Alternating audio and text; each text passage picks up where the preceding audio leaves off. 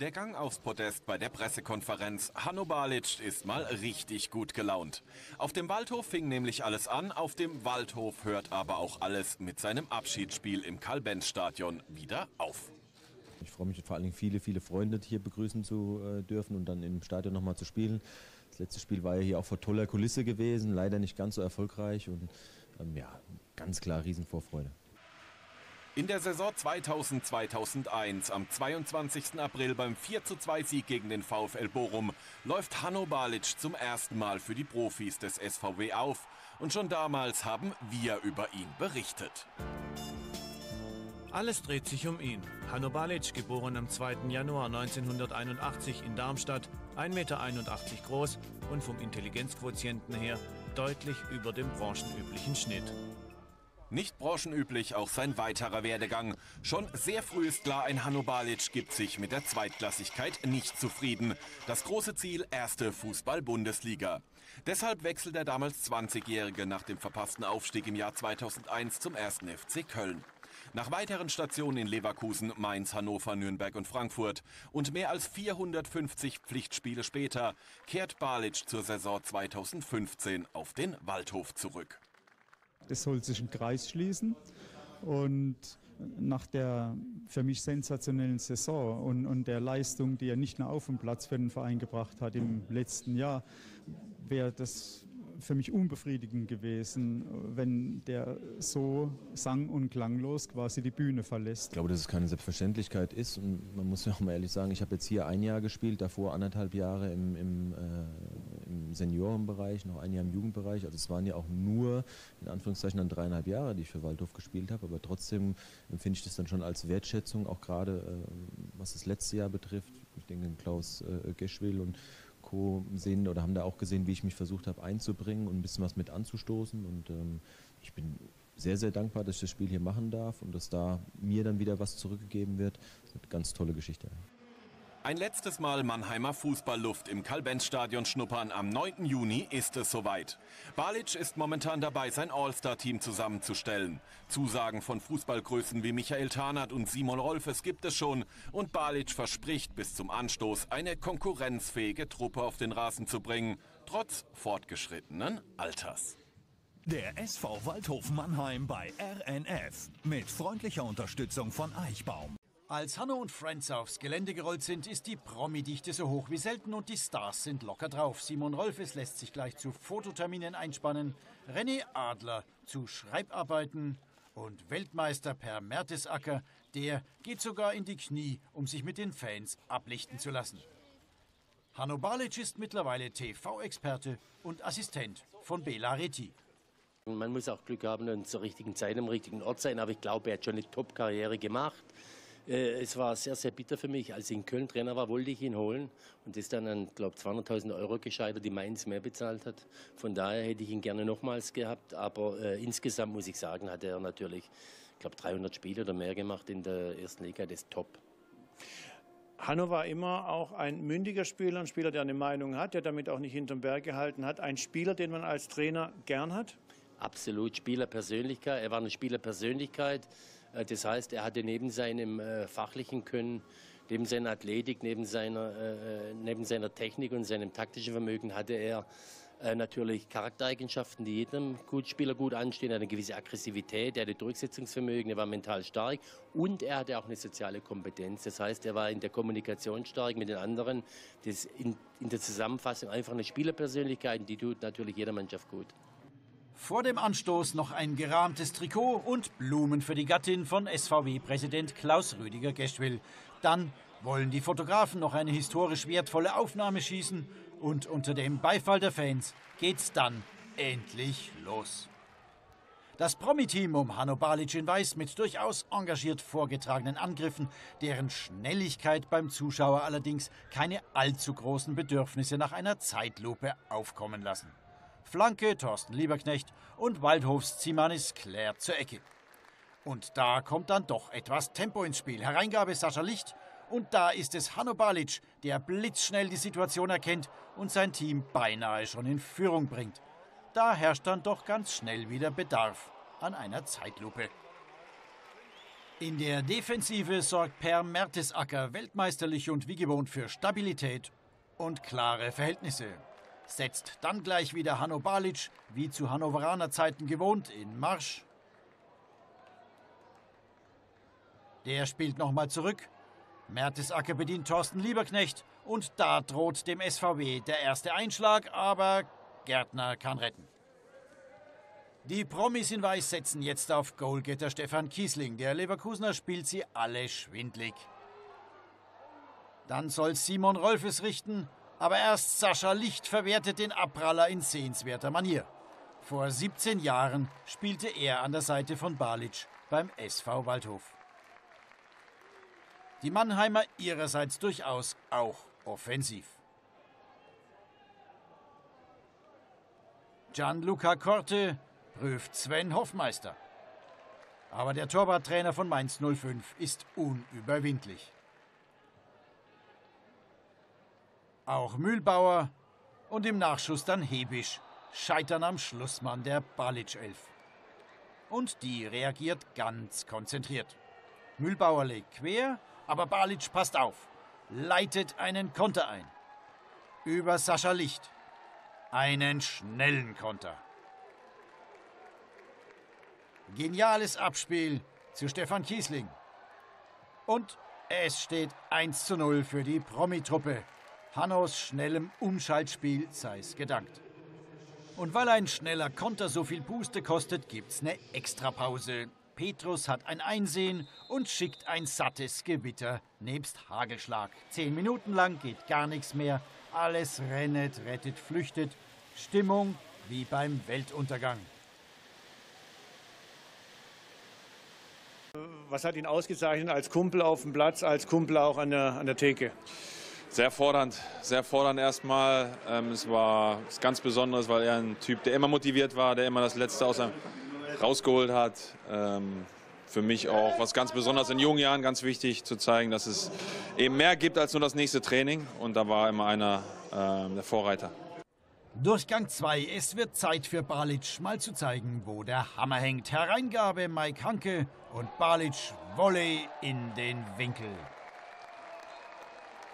Simon Rolfes, der gerade am Spielfeldrand Wolfgang Grünwald Rede und Antwort steht, übernimmt sofort die Moderation. Ähm, oh, jetzt macht er fantastisches Tor gerade. Ähm, kommentier, kommentier einfach live. Ja, wunderbar zugelegt von Mike Hanke und dann Volley also, oder Dropkick ähm, in den Winkel, fast den Winkel, aber ohne Chance für den Torhüter. Also 3 zu 0. Wir machen das Spiel jetzt, ziehen wir knaller durch. Das Ganze nochmal in Slow Motion. Da macht er sich selbst ein spektakuläres Abschiedsgeschenk an alter Wirkungsstätte. Die Verhältnisse weiter anspruchsvoll. Mike Hanke, der in Königsblau schon als Pokalsieger eine gute Figur gemacht hat, lässt auch hier bei der B-Note keine Wünsche offen. Und die Blau-Schwarzen wären nicht die Blau-Schwarzen, wenn sie keine Kampfmoral hätten. Sinisa Sprezakovic mit dem 3 zu 1. Und in der Folge bekommt ein Spieler, der hier zum Saisonende seinen Abschied genommen hat, auch noch die Chance auf ein kleines Abschiedsgeschenk. Mit der 7 Ali Ibrahimai mit dem 3 zu 2 Anschluss. Das Ganze fast im Alleingang. Jetzt wittert der SVW Morgenluft die Promi-Akteure schon etwas erschöpft und die jungen Nachwuchskräfte des SV Waldhof sehen ihre Stunde gekommen. Sinisa Sprezakovic mit dem 3 zu 3 Ausgleich. Der Coach der Promi 11 nimmt's mit Humor. Uwe Rapolder mit einem Lachen. Aber der SV Waldhof drängt weiter. Mit Ibrahimai als Motor. Über Korte und Söckler hat den Siegtreffer auf dem Fuß, aber der Pfosten rettet. Man kann nicht sagen, dass sie nicht den vollen Einsatz bringen. Korte, Söckler, aber wieder nichts Zählbares. Die Balic 11 sucht ebenfalls die Entscheidung. 70 Minuten sind gespielt. Kiesling allein gegen Keeper Weiß, aber Torhüterkollege Dennis Broll kann retten. 77. Minute die Entscheidung. Kiesling auf Balic passgenaue Flanke und Daniel Stendel, genauso wie vorher Balic, Volley in den Winkel. Das ist der Endstand. Ein Schlusspunkt wie ein Donnerschlag. Vorgelegt von Hanno Balic. Seine Elf siegt 4 zu 3 und kurz vor dem Abpfiff wird's nochmal richtig emotional. Ja, mir bleibt einfach nur Danke zu sagen für alle, die heute hier waren, die mich die ganzen Jahre begleitet haben. Hier hat es angefangen, hier endet es heute. Ich glaube, es ist eine rundum gelungene Geschichte. Vielen Dank für alle, die heute auf dem Platz da waren, im blau-schwarzen Trikot, im weißen Trikot und alle, die heute hier waren. Es ist keine Selbstverständlichkeit, ich weiß es sehr zu schätzen. Vielen, vielen Dank.